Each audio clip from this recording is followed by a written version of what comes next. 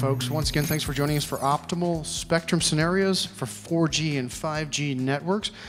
Our moderator for this discussion is the VP of Spectrum Planning at CTIA. Let's give a big round of applause to Paul Anuszkiewicz.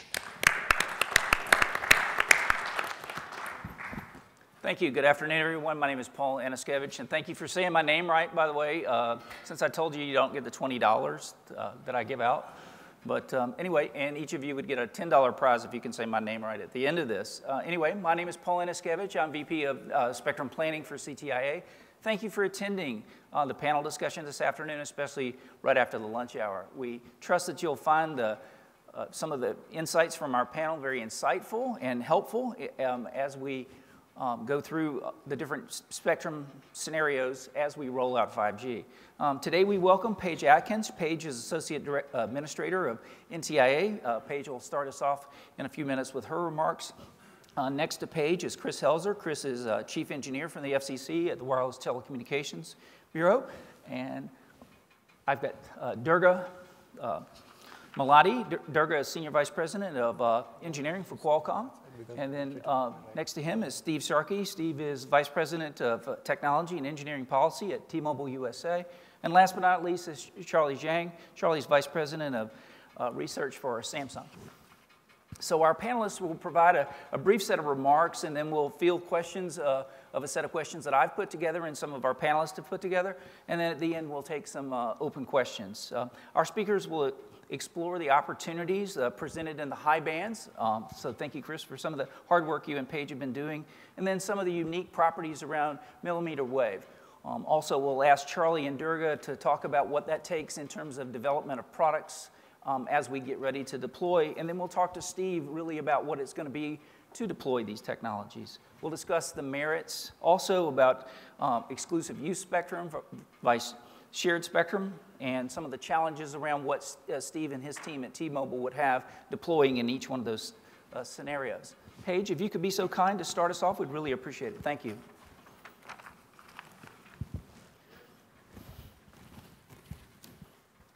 Thank you, Paul. Good afternoon, everybody. You all awake? I want to thank CTIA for inviting me to be part of this panel. This, this really is an exciting time with regard to wireless technology. And we continue to propel our, ourselves forward to a 5G world. And we, none of us can wait until we, we get there. And at the same time, we continue to enhance 4G services. And I'm going to be discussing NTIA's role in improving the nation's spectrum stewardship collaborating with the Commission, the federal agencies, and industry to ensure that spectrum is available to fuel these technology innovations from a commercial wireless standpoint. For those of you that are not familiar with NTIA, we are the principal advisor to the President on telecommunications and information policy issues. And a key uh, element of our function is to manage all federal government spectrum use. So we work very closely with the FCC in that regard, who manages all non-federal spectrum use. So we've heard a lot already about the tremendous advances in wireless technology, 4G, 5G, and perhaps beyond uh, this morning. And I wanted to highlight that we've also made critical advances to government services, to include, for instance, when you get on that plane the end of the week to go home, Spectrum helps ensure that you get to your destination safely. It also allows for you to watch a hurricane coming toward your city and know that you'll have adequate warning to protect your family and your property. It also allows us to tell the American public that we're watching the skies and helping to prevent terrorist attacks from occurring on our soil, among many other government services that are provided. We should never forget that consumers are also citizens, and all of us should have the best technology access and applications for both of those roles. And an essential element to all of that is spectrum. Without spectrum, the world we know today would not exist.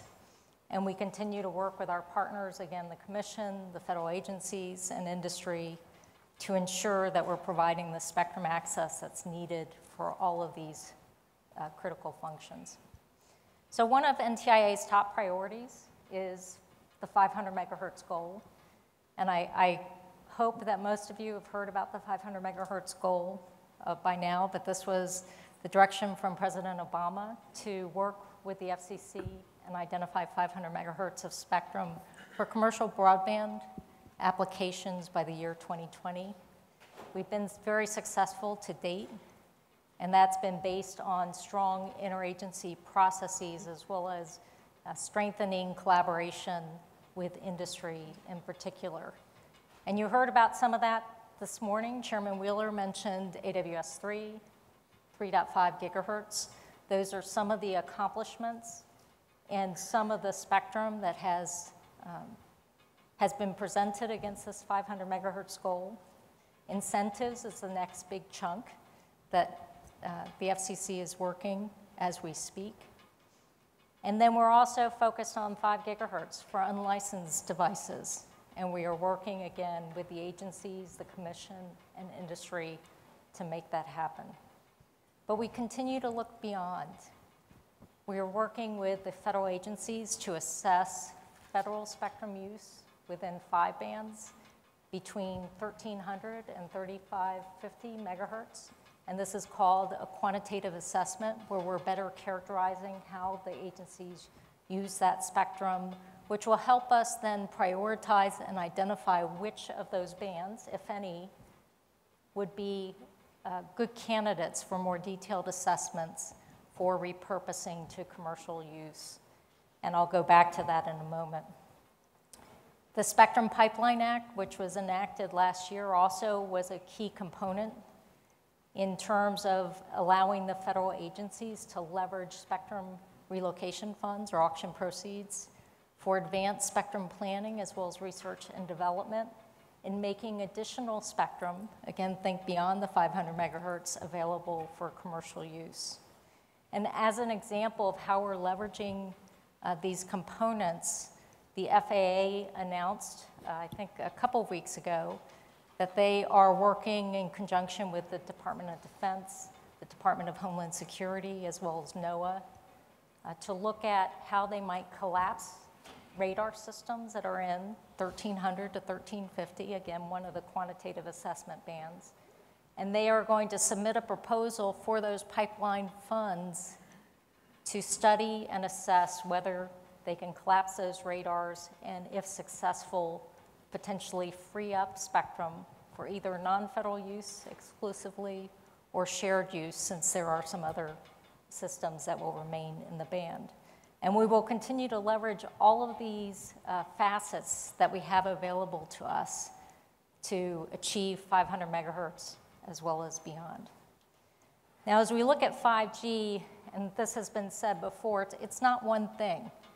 It's a collection of capabilities that have to satisfy a diverse set of requirements that require a diverse set of technical characteristics. And as we know, spectrum is not all equal and we have to apply spectrum in the right way to satisfy the different services that we're trying to achieve. So we know we need a mix of low, mid, high, very high band spectrum. And we, we have heard clearly from industry over the last year that one of the key gaps has been in the high spectrum. Uh, and that today, as Meredith mentioned this morning, uh, we have matured the technology to a point that we can apply these bands in a way that we never thought would be achievable a few years ago. So we're very excited about the opportunities for Spectrum Frontiers, not only to fill that gap, but it opens up new opportunities for federal non-federal sharing, licensed and unlicensed use, as well as dual use technologies. How can we apply this evolving 5G uh, technology base and standards for other applications that we may not have even thought of today for uh, public and private sector requirements. Now, though we'll continue to look for opportunities for relocation and licensed application, sharing is and will continue to be an important component to improving spectrum access for both public and private sector users. because the requirements are growing across the board. And the characteristics that make spectrum attractive for 4G and 5G services also make them attractive for critical government functions that we're trying to provide to the public. And so we need to figure out innovative methods of better sharing that spectrum and not just non-federal use users sharing federal spectrum, but also federal users potentially sharing non-federal spectrum because that will allow us to better optimize across all of these critical uses. We also need to do it in a way that creates some certainty around investments, again, both public and private sector investments and operations. So we need to apply an all of the above strategy, and, and Meredith has, has talked about that in the past as well. We need to effectively reform spectrum that's out in the marketplace today, deploy the spectrum that's been made available via AWS3 and other mechanisms, the 500 megahertz goal, apply a variety of frequency bands, leverage new technologies to enable sharing, and fully embrace licensed and unlicensed uses and services. So we'll continue to work with the Commission, the agencies, and industry to look at all of these options and ensure that we have the spectrum access we need to fuel technology innovation in the wireless world and to maximize the consumer, business, economic, scientific, safety, and national security interests that are all so critical to our nation. Now, key to the success is collaboration, not only between government and industry operators and users, but also across research, development, testing, and evaluation. We must collaborate and build trust not only in the technology, but also in the process, the policies, uh, and the other activities that are required to actually implement the technology. And collaboration and trust will help us fully exploit the opportunities ahead of us. Thank you. Thank you, Paige. Chris? These chairs? Mm, we have slides, great. Okay, your clickers up there. Does this function?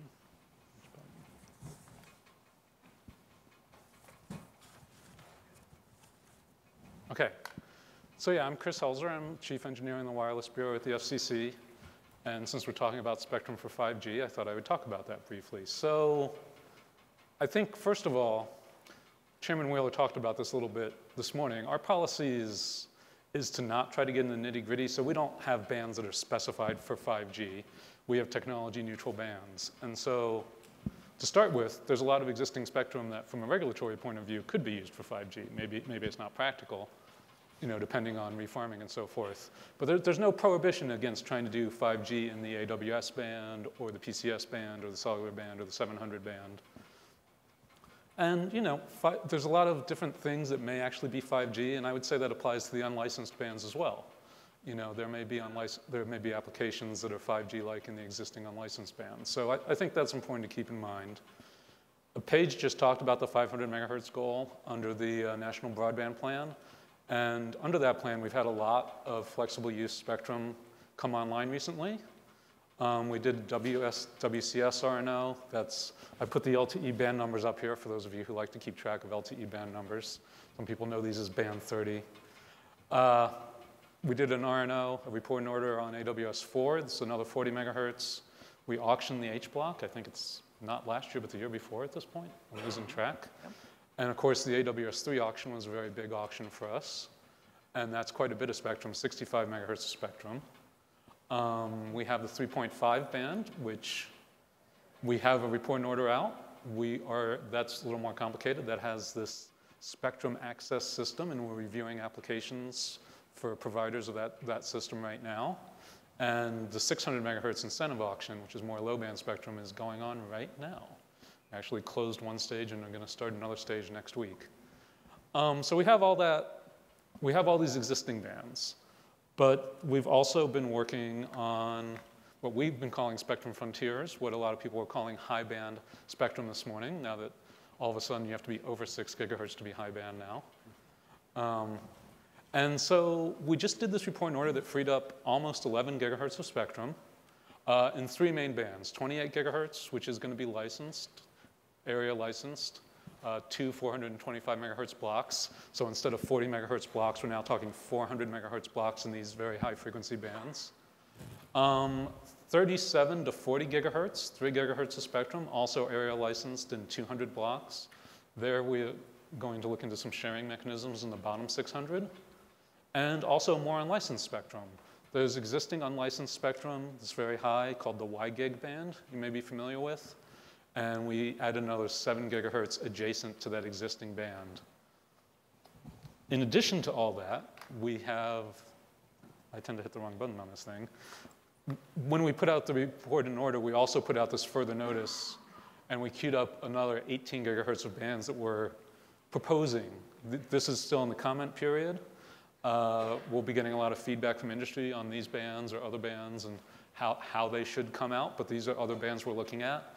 And it's quite a bit of additional spectrum, and it's all the way from 24 gigahertz up to over 95 gigahertz. So that's kind of a quick overview of some of the spectrum that could be available for 5G that's, that we're trying to make available for industry to use in whatever is the best, best method to get to 5G and, and enhancements to 4G as well. Great. So thank you, Paul. Thank you, Chris. I forgot to thank Paul for inviting me to the panel. Thank you, Paul. You will. Always good to see you. Steve, if we could get your industry perspective real quick. Sure. Um, and I'll just do it from sitting if that's fine. But um, frankly, the uh, comments from, from Paige and Chris were great. In fact, Paige's comments are pretty much mirror what I would say. uh, I, I mean, it really is, really is an exciting time right now for both spectrum and technology, and we're seeing huge amounts of change. Um, you know, we continue to grow and do more with our 4G LTE technology. I don't know if you've, uh, we had some announcements yesterday for T-Mobile where uh, we announced that we've been deploying 4x4 MIMO, 256 QAM, and that we've been doing um, carrier aggregation, both two and three channel carrier aggregation since uh, 2014 um, using our PCS, AWS, and 700 megahertz spectrum. So, you know, we're at a point now where you combine these technologies and you can get download speeds up to uh, 400 megabits per second. It's being rolled out very quickly, very aggressively, and, uh, and it is a very competitive environment for continually um, upgrading these. Changes in uh, 5G that, uh, or um, fifth generation technology that we're seeing, we're working with our partners, Ericsson, Nokia. We just announced um, work with Samsung that we're doing to study and um, and develop that technology. Uh, and there's no, there's lots of talk about the benefits of, in terms of latency and speed and improved in customer experience that that's going to bring um, as that gets deployed. And big changes in, uh, in spectrum. It was very recent where three gigahertz was kind of as high as we were looking for, for mobile spectrum. Um, but both Paige and Chris uh, and others have talked about the Spectrum Frontiers bands that um, uh, are being made available or, you know, with important word have been made available and are being looked at uh, more. Um, 600 megahertz spectrum uh, auction that's going on right now, the AWS 3 auction that's recent, 3.5. So there really is uh, actually a pretty good um, range of both of low, mid-band, and high-band spectrum that's um, being evaluated and looked at. And as Paige mentioned, some more mid-band spectrum that's really, um, again, critical to filling in um, the footprint of the networks and meeting the demand. I think they, you know, with all this activity, um, I, I think some of the comments from the chairman this morning were, were very on point too, though the need for, um, for there to continue to be competition for spectrum. Um, you know, one of the things is we look at, particularly in spectrum frontiers, where a lot of spectrum has been made available, and we look at 11 gigahertz of spectrum, that is a pretty amazing amount of spectrum um, off the bat. But when you really look at it, a high percentage of that is already licensed.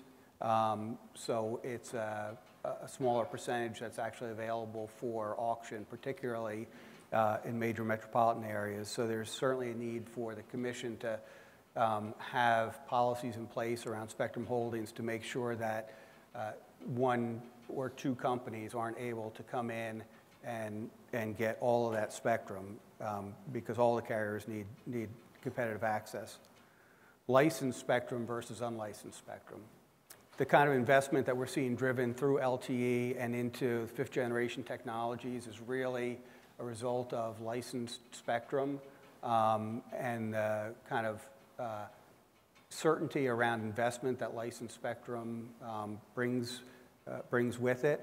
And you know, we need to make sure that that continues, that there is a sufficient amount of spectrum.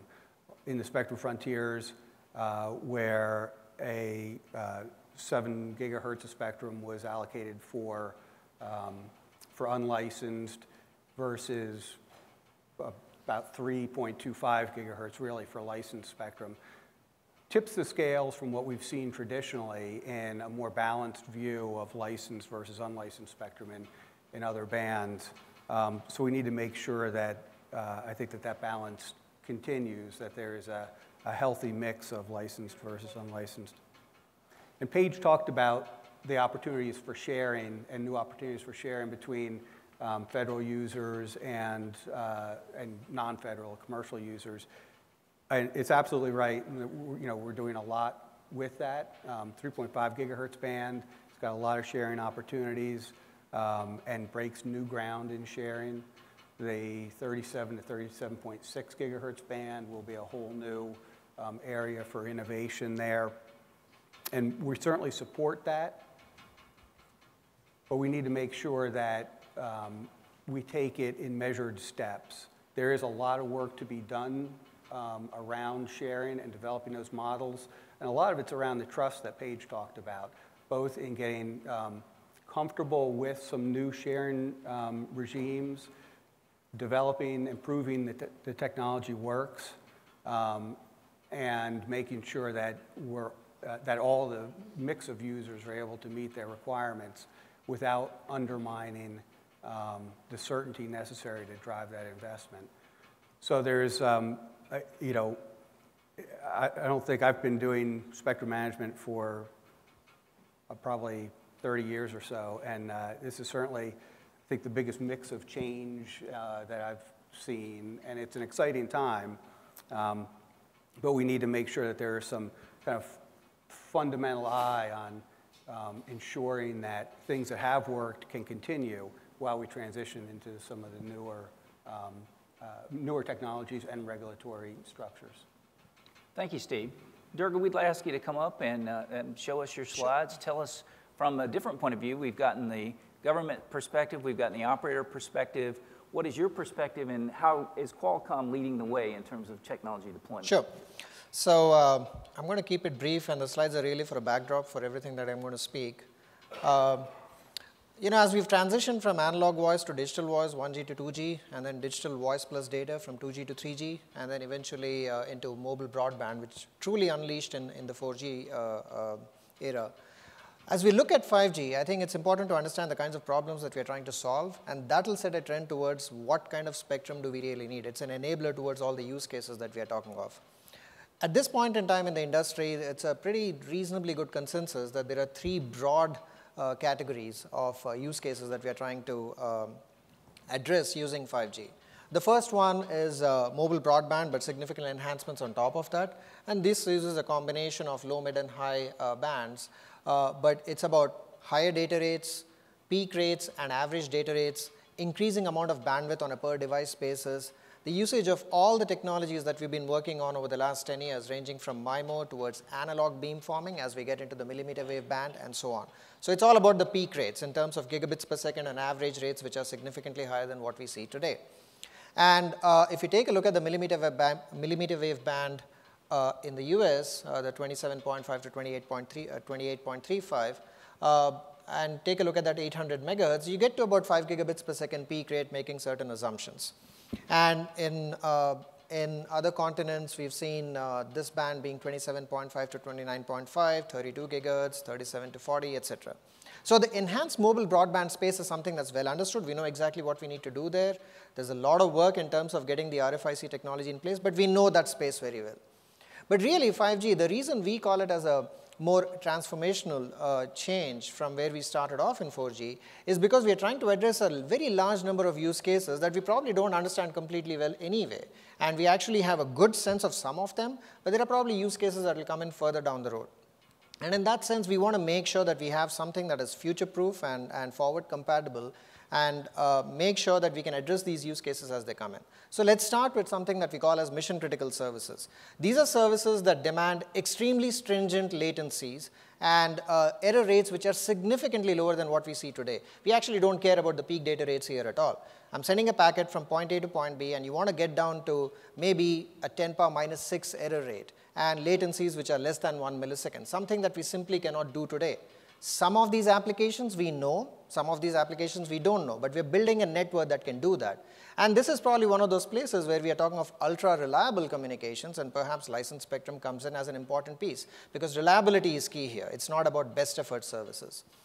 And if you take a look at the, the final, uh, the third uh, uh, vertex in the triangle that you might have seen in multiple places, massive Internet of Things. Now, Internet of, Internet of Things is a very broad term. It can range from uh, water meters, gas meters, to connected smartwatches, and so on. But the key is to have very good penetration in terms of deep coverage, going way beyond what we are used to today. And that means that there is a good reason to start thinking about the lower bands, the sub-gigahertz bands, and these bands are important. So I'm going to actually explain the remaining part of uh, you know, two or three slides on this as to where do we see different pieces of the spectrum coming into play. So it's a very busy slide over here, and I kind of thought about it before putting it up here, but I thought it's a good point to actually indicate the different kinds of problems that we are trying to solve. On one hand, if you take a look at it on the, I guess from uh, uh, the left-hand side, we have very dense deployments with integrated backhaul and access. We're trying to cut that cord even for uh, the, the wireline backhaul and trying to see what we can do with that. And the usage of the higher bands actually does become important over there because we need that bandwidth to be extremely large. At the same time, this bandwidth, because it's in the higher bands, makes it naturally amenable towards spectrum sharing. Propagation doesn't actually go that far, and in that sense, reuse of spectrum becomes easier. A couple of decades back, we never used to share spectrum as much, and today we are very comfortable with that in 2.4 gigahertz, upcoming 3.5 gigahertz, and in 5 gigahertz. So we know how to do this, and there are better and advanced techniques that we are working on to make sure that we can do spectrum sharing in the nice way. So this is one set of uh, uh, use cases. And on the right-hand side, we can see that there are different kinds of other applications. These can range from vehicle-to-vehicle -vehicle communications, smart meters, uh, the usage of ultra-reliable links for drone control, and uh, narrowband IoT, uh, which relies upon perhaps a mesh backhaul. And that relies upon different kinds of spectrum uh, usage. You can actually think of the mid-band to high band as probably a place where we can do that. So the number of requirements that we talk of on 5G NR, these are half self-imposed, but these are also anticipatory in the sense we see these trends. These are the kinds of things that we want to solve. Uh, we clearly see the need to use all three areas, the low bands, the mid bands, and the high bands, and the usage of licensed and shared slash unlicensed spectrum paradigms. I think that's going to be key from our standpoint uh, for 5G. So in terms of deployments itself, uh, as we start using these higher bands, let's take a simple example of mobile broadband. This is a place wherein we see deployments coming up. Today we have 4G uh, and Wi-Fi in the lower bands, and as the higher bands come in, both in millimeter wave and also slightly above the 3.5 gigahertz today, we see a way of using the lower bands as an anchor carrier, something that gives us a assurance for guaranteed uh, you never literally drop the call, even though that whole phrase has lost its meaning when it comes to packet services. But it's a way of making sure that we always maintain connectivity using any or all of the above radios, Wi-Fi, LTE, and 5G. So different spectrum paradigms are kind of important uh, in terms of the deployment or the rollout of 5G networks. And in that sense, speaking a little bit more about spectrum sharing, we've just scratched the surface from our perspective on what we really mean by spectrum sharing over there. We started off with a purely unlicensed domain where everyone can get in and has some sort of a, a, an access. But as we start taking a look at 3.5 gigahertz today, there are those which have a slightly higher tier. So this is called as vertical sharing versus horizontal sharing. It's a very interesting structure, and in 3.5 gigahertz, it's becoming quite important. And we therefore broadly classified that under the overall shared spectrum paradigm. It's a shared spectrum in the sense that there are certain rules which are not necessarily equivalent to what we do or usually used to with listen before talk techniques and sensing techniques that we do normally in 2.4 and, uh, and 5 gigahertz. And there are different things that we can do in this shared spectrum, defining new rules of operation so that we can extract the maximum out of these, uh, out of these bands. So much innovation has gone into the licensed spectrum this, from the cellular standpoint. We can bring that innovation into unlicensed and shared spectrum paradigm and get the best out of it. That's our perspective. And I'm going to stop over here by simply stating that as we take a look at different kinds of uh, uh, uh, the bands that were recently uh, announced by FCC, including the 7 gigahertz and 60 gigahertz band and uh, uh, the 3 gigahertz and the 37 to 40 gigahertz. We are kind of excited about it. We feel that these bands are kind of important as we go out and deploy 5G. Thanks. Fabulous, Durga. Thank you very much. Charlie, if you wouldn't mind also providing your thoughts about, from your perspective. Okay, sure. Um, Whatever you're comfortable with, Charlie. Okay. Looks like this mic is working, so okay. I can probably just stand here. Uh, thanks, Paul, for having us here. Um, and uh, we, we, we, are really proud Samsung is one of the uh, very early pioneers in the 5G technology study and innovation. So we, we've been working on this starting from 2011. It's been almost uh, half a decade. Uh, we, we, have, uh, we have seen a lot of challenge in the process. We learned a lot of lesson when we're trying to build the, uh, the, the, first set of uh, 5G system and make it work in the process. And be very happy to share some of that with, with you here. I don't have any slides here, uh, maybe a very brief summary. Uh, um, over time, what we did. Uh, I would say, broadly, broadly speaking, there's two stages that we experienced. Initially from two, 2011, when we first started looking at this problem, especially for these new frequency opportunities in higher bands. And by the way, thanks to, to uh, Chris and, uh, and Paige to, to make that available in US. Uh, thanks to your leadership. That's very critical actually for us to, to be able to go out there and build technology for that and make 5G happen. So uh, when we started, everything was open. There's so many challenges. I mean, we, we don't even have a channel model we don't know this whole thing works or not. We don't have, we don't, we don't have component technology. We don't have a PA that working in those bands, 28 gigahertz. Um, and we, we, we don't know how to build these uh, very simple RF components that, that's very simple in lower bands, for example, the filters, the active antenna arrays, and so on. So for those years, we focused on building these fundamental component technologies. We worked with uh, many of our partners across the world to build a, uh, a, a reasonably uh, well-designed channel model so we can simulate and understand the behavior of the system in these new, new bands. We also uh, spend a lot of time and resource developing our own uh, antenna arrays for those new bands, uh, semiconductor components, including PA, filters, and so on. Then we also spend time to put them together to do over-the-air uh, demo so we can convince ourselves it is indeed feasible. It's working over the distance of you know, a few hundred kilometers, uh, sorry, a few hundred meters to a kilometer. So not, not that far, but it's good, but not that far. So, um, so everything uh, went really well. It's amazing, actually. We, when we started, we didn't know whether it's going to work or not.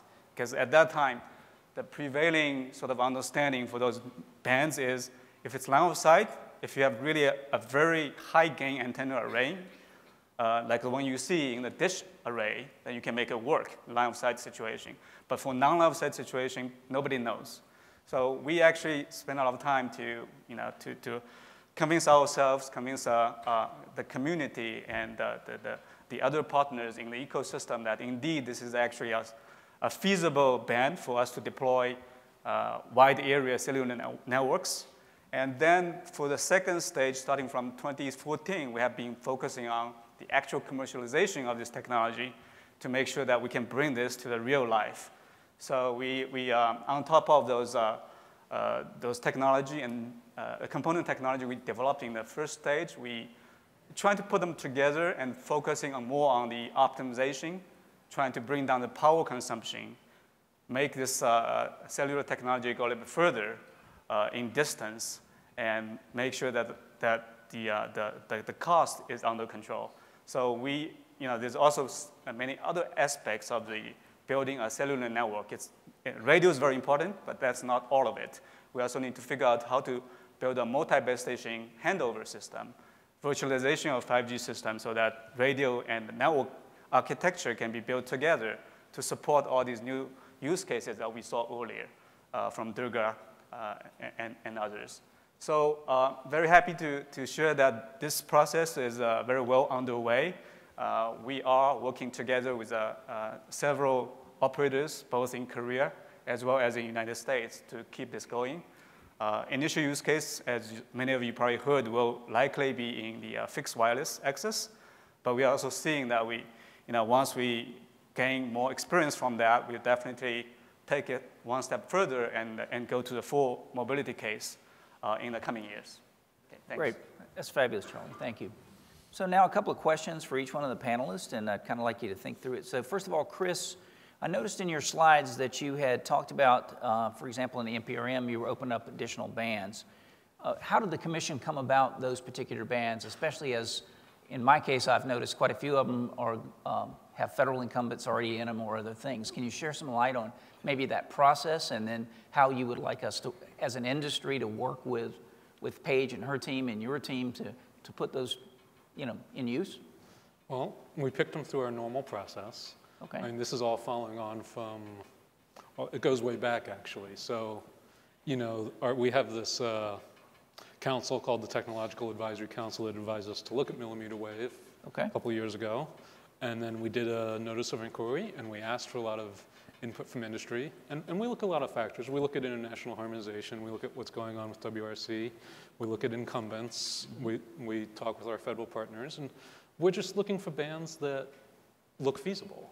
That the, in, in, that the incumbent use looks like maybe something that could be shared or maybe something that's underutilized or that's highly utilized but but similar, but wouldn't require a big rule change. There's, there's a lot of different factors, but, okay. but it's not like we make it in isolation. You know, we put out the NOI, and we get a lot of feedback. Right. These are actually all bands, I think, probably all bands that wouldn't actually our original notice of proposed rulemaking. Mm-hmm. And the ones that are in the R&O are the ones that were the clearest that we could move forward on quickly, and these are the other ones. So, okay. and, and the further notice is open. You know, any company can come in and comment at this point, and we really encourage that. You know, we want to. Great. And when we want to hear from period close?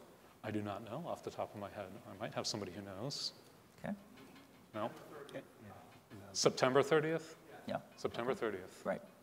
So, Paige, based on what Chris just told us, what do you see as the challenges, benefits, but also opportunities having coexistence between commercial industry like Steve's company and um, federal users? And what can you tell us about that? Well, I think in general, as I mentioned in my opening remarks, the more we can share, the better we can optimize to satisfy all user requirements. In some cases, sharing may not be feasible for various reasons. Mm-hmm. And I think that as we move forward, for instance, with AWS 3, even though it, it was a licensed band, there were two critical elements that made AWS 3 successful collaboration with industry, in particular, intense collaboration, as well as sharing. And that's sharing during transition as well as some indefinite sharing with federal users in the band. Otherwise, we wouldn't have been able to move forward with AWS3 and you wouldn't have had that spectrum available for use today. So it's, it's a critical component to our success. Millimeter wave opens up new opportunities just inherent in the technical characteristics of the band, and new techniques like spectrum access systems, environmental sensing. We have the regulatory framework in place for 3.5. Now we have to prove out those technologies and prove out the processes and policies around them. And it just offers huge potential for the future. Okay, so Paige, a follow-on question. In your opinion, what steps are necessary to build those if you could give us a recipe for success, for example, you mentioned AWS 3 as we go through in 3.5, as we go through in the high bands, what are the right collaborations? And Steve, I'm going to ask you a similar question because, Steve, you've lived it recently in particular, but what in your mind, Paige, is the right collaborations to build with the federal agencies? We made huge progress in AWS 3 using our Federal Advisory Committee, the Commerce Spectrum Management Advisory Committee, to facilitate an intense collaboration between industry and government of which Steve and his team participated uh, greatly in that process. And we continue to use similar methodologies, like as we look at 5 gigahertz for sharing with unlicensed, we're working with the commission and we have joint working groups for the federal agencies, industry, the commission, as well as ourselves to work out what the technical solutions may be, the operational solutions. So it's this very intense collaborative effort. And we continue to define how we can even better collaborate in the future. We're developing an industry government collaboration plan that NTIA can leverage to fill any gaps that we see. And we will be reaching out to uh, the community at large to ensure that we've got the right mechanisms in place to address the right issues so we can be successful in the future. That's great, Paige. Thank you. So, Steve, if I could get your perspective from the operator, how did that collaboration work in AWS3, and what, what do you think are lessons learned or suggestions you might make for the process to be better as we go through the next set? I totally agree with Paige that we made huge progress in the AWS3 process. And it really, it, you know, it comes around when you, I think the key was really getting the engineers to sit down in a room together and get into technical details of the system and what sharing means and what can work. When you talk at a high level, it's often much more contentious. People kind of back into their corners, but engineers, you know, kind of given the right instructions, will generally find a way to work through that. So I think that's the kind of thing that we need to see, you know, continue to see more of. And one of the keys, I think, with AWS 3 also was that rather than set hard limits on sharing, I mean, you knew what systems need to be protected, um, parameters around a lot of those systems. Uh, but coming out and following auction, there's a coordination process that's in place. And um, in that process, there's also room, and in the regulatory structure that was adopted, there is room to allow companies to work with incumbents to solve problems on an individual basis. So, you know, part of what we're doing now is going in and when, you know, DOD says, no, you can't deploy a system there, we're able to go in and talk with them and say, well, what, you know, let's understand the issue a little bit more and come up with some um, solutions that either let us deploy a larger area or getting closer or, you know, hopefully even deploy, you know, much more fully while protecting, um, protecting them. Probably, you know, one of the biggest challenges that in developing sharing is leaving a lot of flexibility for systems to develop and change over time. And that's probably a big, one of the bigger ones that we haven't always been as successful to, in developing a regulatory structure that um, allows complete flexibility for incumbents to modify systems um, while also providing assurance or certainty around kind of new um, entrants into the, into the market. So I, you know, I think we're learning a lot. Um, Paige mentioned before the need to, to uh, establish greater levels of trust. And the more we work together, I think that you know, we'll see more of that, especially for you know, when you're working with large federal agencies.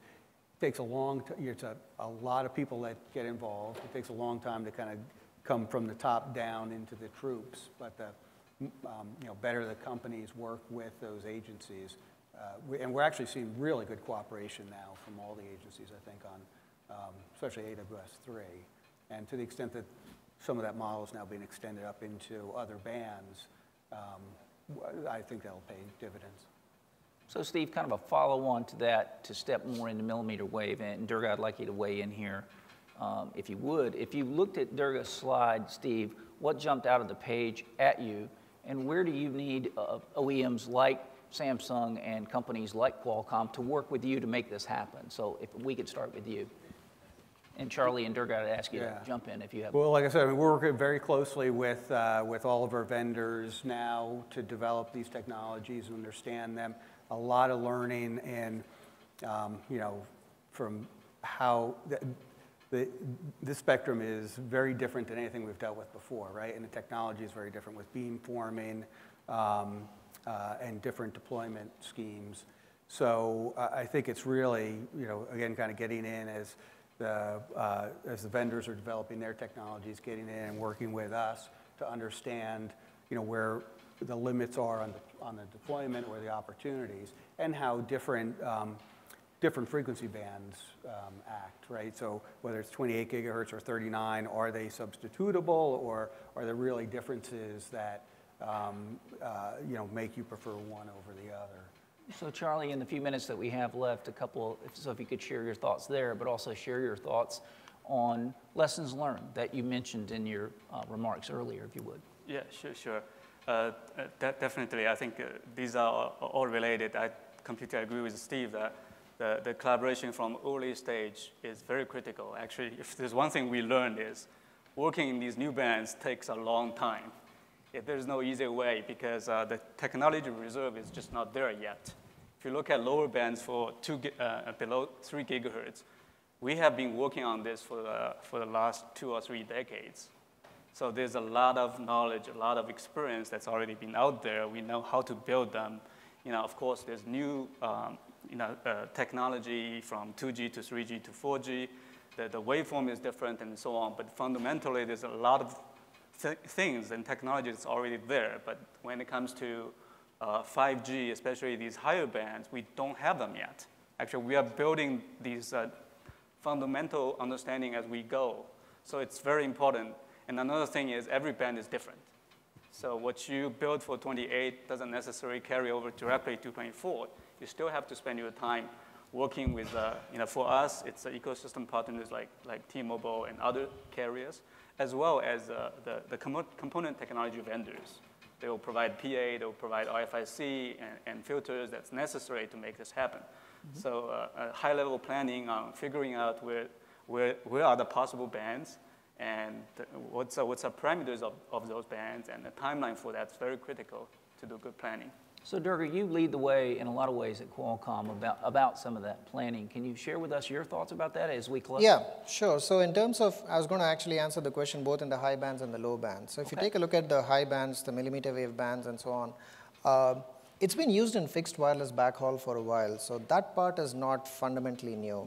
And a lot of the uh, key enabler from our perspective on, on 5G for mobile broadband is the ability to make it work in a mobile ecosystem.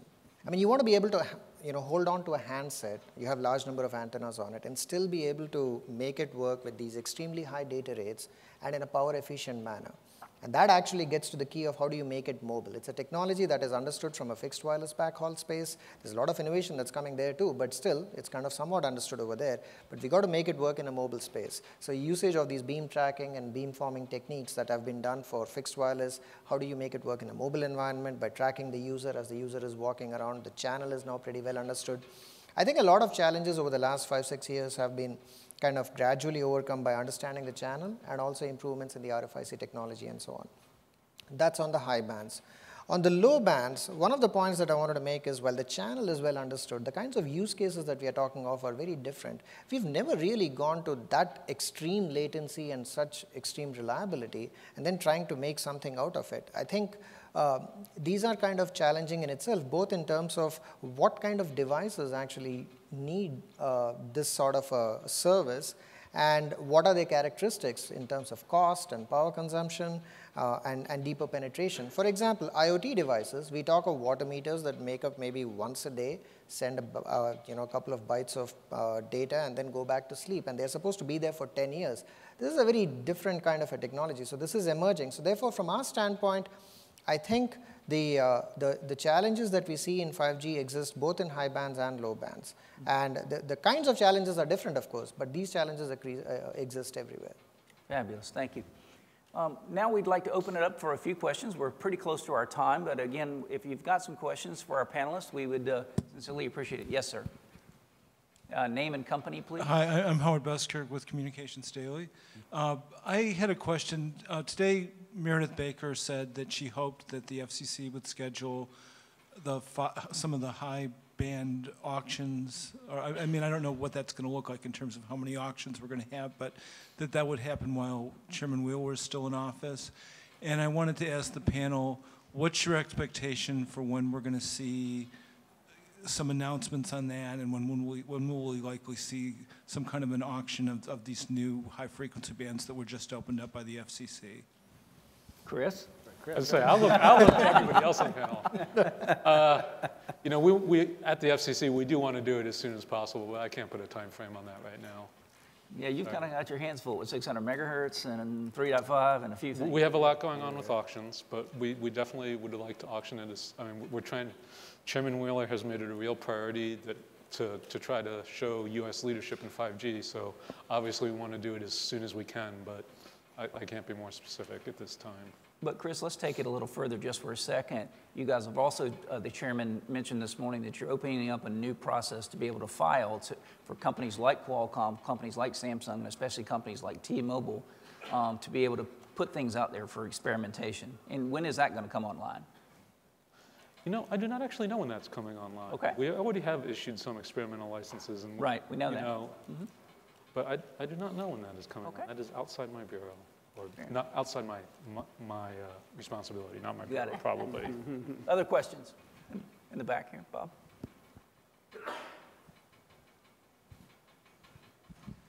Frank DeJoy, Spectrum Effect. Uh, Several members of the panel referred to spectrum sharing in the 3.5 gigahertz band, uh, specifically CBRS and SAS and sensing. My question is, when do you expect uh, adoption of those solutions to start happening in the market and in what sectors?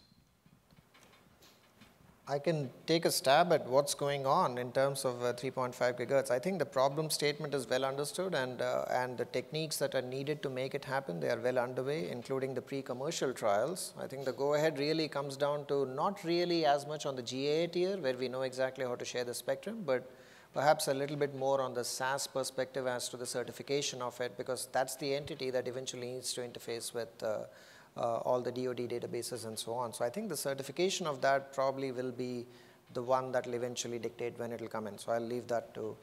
Leave it to me again. Thank you. Um, Well, once again, I don't have a date for you, but, you know, we, we have the SAS applications in the first round. We're working with them. They're pretty good. We're pretty excited about, about them. Once, once we're, we're going, we're going back to the applicants and asking various questions and trying to get them all up to the same standard. But I think the big thing there is going, going to be uh, testing with the incumbent federal agencies and getting them comfortable that the SAS is really protecting them. And we're trying to do that as soon as possible, as always. But I think that's, that's the next step, and we hope to get to that soon. Right. So if you think about it, uh, a lot of our operators are very interested in using it. A lot of our CTIA member operators like Steve's company. Um, so we're working very closely with Paige, and Paige has done a great job helping us uh, work with DoD in a completely new paradigm. Chris's team is working very diligently with the whole industry in terms of putting together kind of a plan, a roadmap. Uh, matter of fact, you close, I believe, at the end of the month with uh, the comments that you and things that you've requested to the SAS uh, providers. I think there's a healthy uh, community there, and then also a plug for Wind Forum. There's 56 companies. Qualcomm is involved. Uh, the FCC is involved. Paige has got representation. Steve's team's got representation. Um, so pretty much everybody here is pretty interested in that band. So I think you're going to see it develop pretty quickly. And I think, you know, Chris and Paige are uh, helping us work our way through the details. So hopefully that's helpful. Can I add just a comment? Absolutely. So remember also in 3.5, for instance, there are exclusion zones. So from an incumbent federal user perspective, to use the SAS and potentially environmental sensing is really for protection within those exclusion zones. And outside those exclusion zones, there are opportunities to operate without having to coordinate with the incumbent federal users. But the SAS is still an important component to the commercial to commercial sharing as well. Right, as soon as we get to the point where it's clear that the SAS can at least enforce the Correct. exclusion zones Yeah. successfully, we can move forward. But, and, and I'm actually, you may know more about how the Wind Forum is doing. I mean, the Wind Forum's been making great progress, but I think they're still working out some of their protocols, like SAS to SAS interface is still That's right. worked on by the Wind Forum. It's, it's a standardization, Win Forum, thanks. I mean, it's a, it's a standardization forum in which we are uh, heavily participating with the rest of our partners in the industry. Uh, it's still ongoing, but there's good progress being made in that one. Uh, Yeah, pretty quick progress, to be honest with you. Okay. And last question, because we're out of time. Yeah, we have uh, time for one really quick one here. Yeah, hi. Um, I'm Kai with Caribbean Cellular Telephone. Um, I actually have a two-part question. Um, first part is: Is there any plans to open up um, sub gigahertz spectrum in different regions, say like 900 megahertz for um, 4G or even 5G.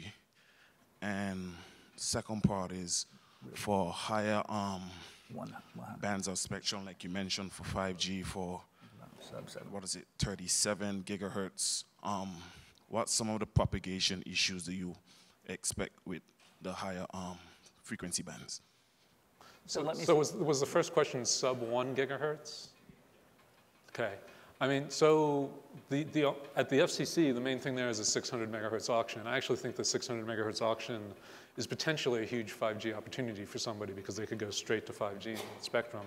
So if you're looking at those types of applications, maybe high coverage IoT, maybe it's a control plane for some higher frequency. I, I think that's the focus, but we don't have other sub one gigahertz bands right now. Um, and the second part of your question, I, I think Charlie talked about that some. I think, Yeah. I think we've seen good, I mean, the, the challenge is the higher the frequency, the more directionally the antenna has to be to make it usable. But all the advances with beam steering, and, and we're, we're seeing a lot of people saying they can get several hundred meters and maybe even Yeah, a the, the main thing actually in, in these millimeter wave bands is remember it's not, it's not a diffractive channel. What that means is things don't bend around corners. What you really rely upon a lot is on reflections. And you know, in a very simplistic way, think about pointing laser pointers in some sense. I mean, that's how, how thin the beam width can be. And the key is to actually then use that. So the channel itself is well understood, but I think the techniques to utilize the channel to our advantage are also reasonably well understood at this point in time. Great. Well, thank you for attending today. We sincerely appreciate it. I'd ask for a big round of applause for, uh, for our panelists and panelists that sincerely appreciate Thank you, their Paul. participation.